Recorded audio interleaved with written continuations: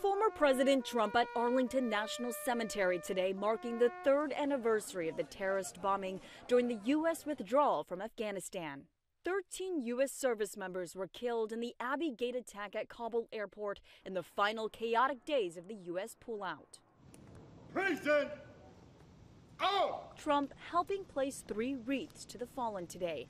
We had a uh, celebration of some great people, some great, great people who passed away, who were killed in the most embarrassing moment in the history of our country. Vice President Harris releasing a statement today saying she will care for our troops and always honor their service and sacrifice while standing by President Biden's right decision to end America's longest war. Later this week, Harris will head to Georgia with running mate Governor Tim Walz. Her campaign reporting it's raised more than half a billion dollars last month. 82 million came in just last week during the Democratic National Convention.